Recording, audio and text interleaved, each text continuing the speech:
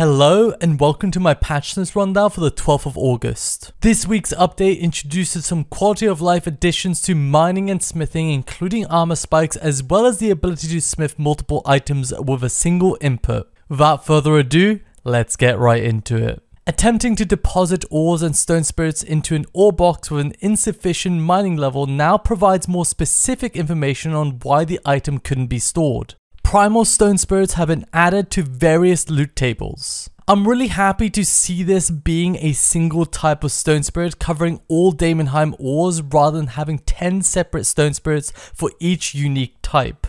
I wish they would do this with the pre-existing stone spirits or at least group them into two or three separate types rather than having a ridiculous 17 different types of stone spirits even potentially having different quantities of stone spirits be used for different types of ore.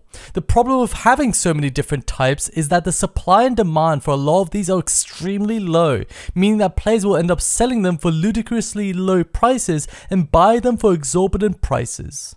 The smithing interface now has a make X quantity slider to allow the creation of multiple projects of the same type without requiring to reopen the interface.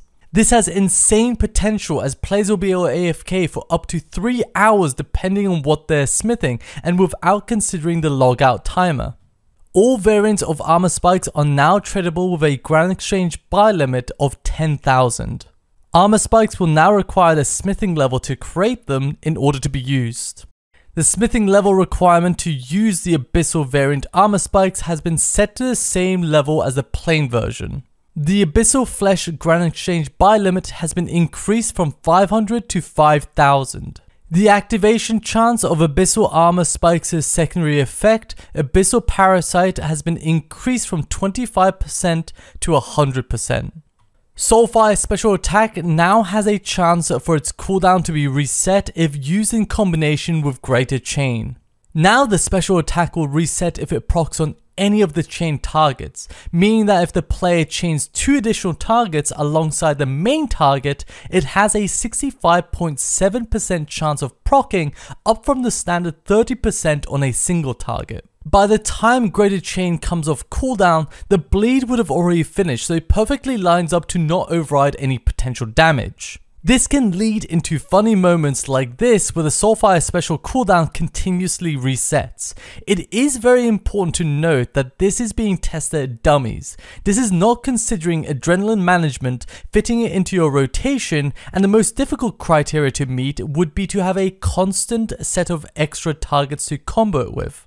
It's also worth mentioning that Greater Chain is a pretty bad ability to use, but not as bad outside of Sunshine if the adrenaline generation from the Wand Orb's passive stacking effect doesn't sustain the constant use of high damaging abilities. Giant Ent Familiar now affects the yield of cactus spines and cactus potatoes. And that's it for this week's patch notes. I would like to see them implement what they've done for Primal Stone Spirits to the rest of them. Could make them more valuable and sought after by adding additional effects that would generate more XP per hour. Anyways, that's it from me. Thank you for watching and take care.